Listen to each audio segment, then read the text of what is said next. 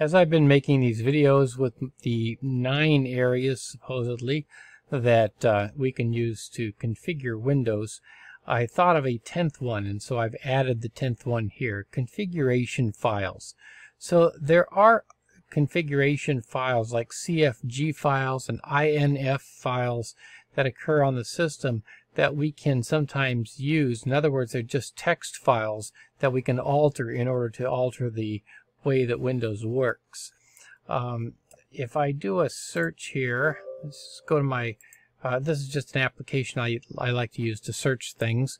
Uh, let's search for a CFG file.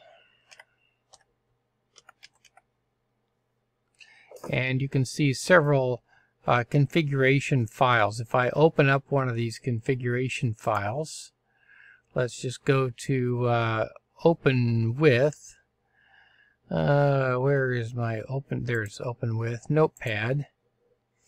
You'll see that I have just some some text here. Now this one doesn't have very much. Maybe a better one would be an INF file. INF files are files that come along with with drivers that that uh, tell the driver information about how to install it and so forth. So I'm going to go and open with Notepad. Okay, that's a little bit more extensive one. You notice it's very carefully laid out so that it's readable by the uh, by the machine. But you can see here that we have, uh, for example, here's a registry entry. Um, and we could change that registry entry if we wanted to do that.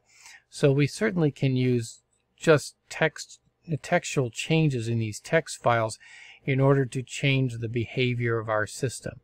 Now this is much more common in Linux systems than it is in Windows. We don't do it very often in Windows.